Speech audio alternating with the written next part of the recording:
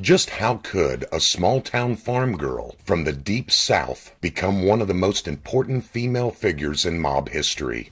This was the question Senator Charles W. Tobey of New Hampshire posed to the beautiful but sassy Virginia Hill during the sensational Kefauver Senate Committee hearings on organized crime in 1951.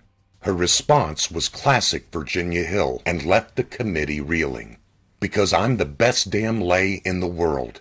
Dubbed by the press as the queen of the mob, perhaps a better designation would have been mistress of the mob. Virginia rarely met a mobster she wouldn't bed. Born on August 26, 1916, in Lipscomb, Alabama, Hill left the poverty of her small town and headed to the big city of Chicago in 1933, which was then host to the World's Fair. J. Robert Nash writes, she accepted a job as a waitress and might have otherwise been doomed to a life of obscurity if not for the intervention of Joseph Epstein, an ungainly little mobster who functioned as Jake Guzik's lieutenant in the racing wire racket. Epstein, who was neither handsome or charming, made up for his lack of looks with a thick wad of cash. While perusing the fair's World of Progress midway, Epstein sauntered into a restaurant and met 17 year old Virginia Hill and was immediately taken with her. Having enough foresight to see the opportunity in front of her, Hill flashed her dark, sexy eyes and showed some leg, and soon became Epstein's lover. Years later, Epstein would tell the wily Meyer Lansky, once that girl is under your skin, it's like a cancer. It's incurable. It was through Epstein that Hill met many of the syndicate's top powerhouses. Men like Frank Nitti, Rocco Fischetti, Tony Accardo, Frank Costello, Charles Lucky Luciano, and Joe Adonis. And Hill, she would bed them all. Hill became so close and trusted by the mob that she was tapped to carry large amounts of money from one place to another. She always did what she was told, never spoke about it, and never shorted the bankroll. Though she would willingly spread her legs for many mobsters, her first real love interest may have been Joe Adonis. But it's possible that the affection only went in one direction Adonis to Hill. Virginia was not looking to get tied down, at least not yet. But that would all change when she met the dashing and handsome Benjamin Bugsy Siegel. This time, the feeling was mutual. Hill fell and fell hard for the tough, violent gangster. This began a rift between Adonis and Siegel, which many feared would boil over into a full-scale war. Carl Sifakis writes, When Lucky Luciano was released from prison and subject to deportation, the mobsters gave him a lavish send-off aboard ship. Both Siegel and Adonis were present, and the nervousness and hostility exhibited by Adonis towards Siegel was clearly attributed to jealousy over Virginia. Hill soon became Siegel's constant companion, both in and out of the bedroom. Siegel was constantly jealous and would challenge anyone who got too close to his girl. Numerous sources reported that the couple's relationship was volatile at times, but they always seemed to patch things up. When Siegel went west at the behest of the syndicate to oversee their interest, upon looking over the sands of the Nevada desert, came up with the idea of a boomtown where gambling would be legal.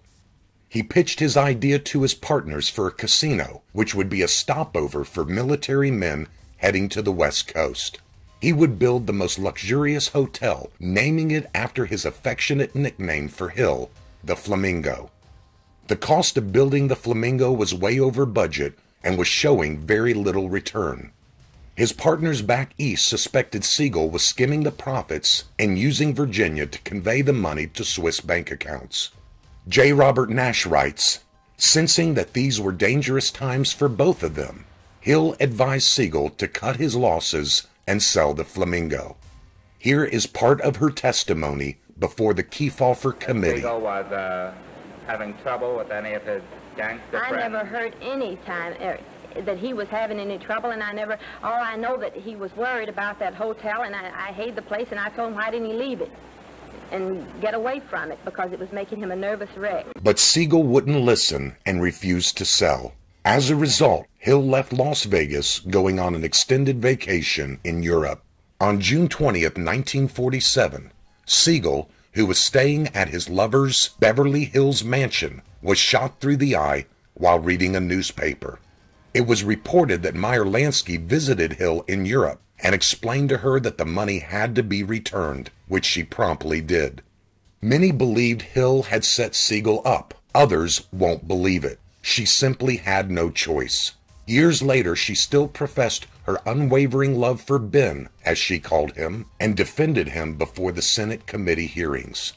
In one of the more sensational moments, a fit for TV drama, Hill, who grew increasingly agitated by reporters, connected with a right cross to the jaw of Marjorie Farnsworth, a reporter for the New York Journal American, knocking her to the ground. Unfortunately for Hill, the Kefauver Committee had already alerted the IRS, who determined she had spent $500,000 over the course of a few years, even though she didn't have any legally declared income. She tried to explain that the money was from gambling winnings, in which she always picked the winner, but they didn't buy it. As a way of escape, Hill married a Sun Valley ski instructor named Hans Hauser, and the two fled the U.S., landing in Austria. The IRS confiscated her property, including her house, and auctioned them off to help pay her back taxes.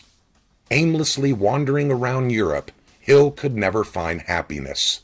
Within a few years, her marriage fell apart, and she ended up alone. Joe Epstein, the gangster from Chicago, who still felt responsible for Hill, would occasionally send her large amounts of cash when she found herself broke. But with age creeping up on her and her youthful beauty fading, the once mistress to the mob fell into depression. Gone were the glory days of the past, the parties, the glitz and glimmer of the mob's number one mole. On March 24, 1966, at the age of 49, Virginia Hill ascended a mountaintop in Salzburg, Austria, took a bottle of sleeping pills, and never woke up.